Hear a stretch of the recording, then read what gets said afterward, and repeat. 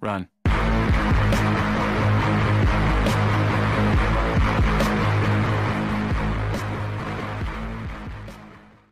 Yo, what's up guys? Welcome back to my YouTube channel. Tuturo sa inyo ngayon guys kung paano gumawa ng smoke text effects para sa inyong YouTube intro. Pero bago natin simulan to, please don't forget to subscribe and click the notification bell for more updates. Sa mga di pa naka-download ng apps ng KineMaster, punta lang kayo sa may description box ko. Nandun yung file, download nyo na lang. So, game, simulan na natin. Open na natin yung KineMaster yan.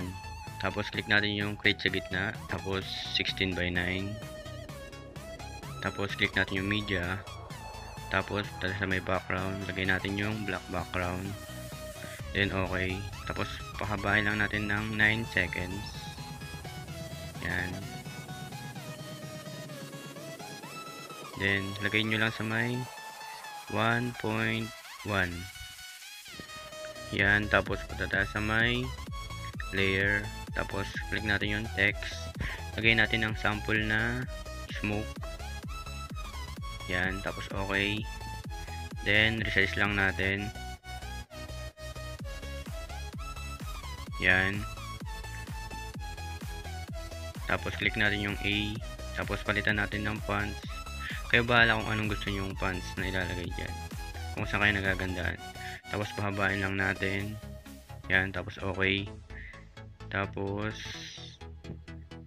click natin yung in animation tapos lagay lang natin yung wipe right yan tapos lagay lang adjust lang natin yung speed lagay natin sa may 3 okay. Tapos layer ulit. Lagay natin ng effects. Lagay natin sa may basic effects. Yan. Tapos lagay natin yung Gaussian blur. Tapos okay. Then pahabain lang natin. Tapos lagay natin sa gitna. Tapos crop lang natin yung blur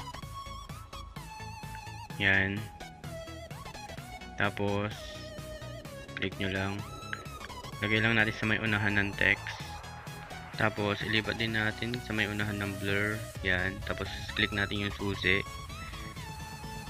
Tapos, letter by letter natin siyang i-adjust. Yan. Sa S. Then, sa M. Yan. Sa may O. Yan. Sa may K. Yan. Sa may E. Yan. Then sa dulo. Yan. Tapos click nyo lang yung okay. Yan. Tapos check natin. Yan. Then click natin yung shape. Sa may feather. Lagay natin sa may 50 yan okay yan Then, lagay ulit natin sa may unahan. Yan. Tapos layer. Tapos sa may effects. Tapos, punta tayo sa may get more. Download natin yung effects. Yan. Loading na. Yan. Tapos, punta tayo sa may distortion. Then, download natin yung wave warp 2.0. Yan, download. Click lang natin yung X. Yan na download na natin. Lagay natin. Yan. Tapos okay. Then yan na yun. Then pahabain lang natin. Tapos okay. Tapos lagyan natin sa gitna tapos crop lang ulit natin yan yan. Tapos, ilagay lang natin sa may unahan ng text. Yan. Tapos, lagay lang din natin sa may unahan yung wave. Yan. Then, click natin yung susi. Then, letter by letter ulit natin siyang i-adjust. Yan. Sa S. sa may M, sa may O, yan, sa may K,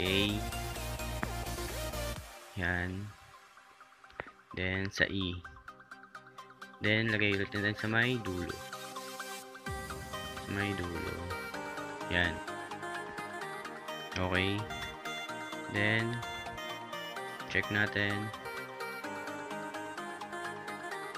yan, tapos, ilagay nyo na sa may unahan ng black background. Sa may unahan, yan.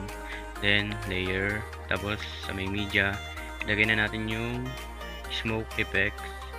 Download nyo lang sa description ko. Nandun yan. Then, resize lang natin. Yan. Tapos, adjust natin ng konti sa may unahan. Yan. Then, punta tayo sa may blending. Click natin yung blending. Tapos click natin yung screen para mag blend then okay. Then check natin. Yan. Perfect. Then punta tayo sa may settings sa may video sa may video fade out. Then on nyo lang. Tapos lagay natin sa may 1 seconds yan then okay Then, check ulit natin. Yan. Perfect. Pwede na kayong makagawa ng intro or title sa inyong YouTube channel. Then, save na natin. Lagay natin sa may 60 frame rate. Yan.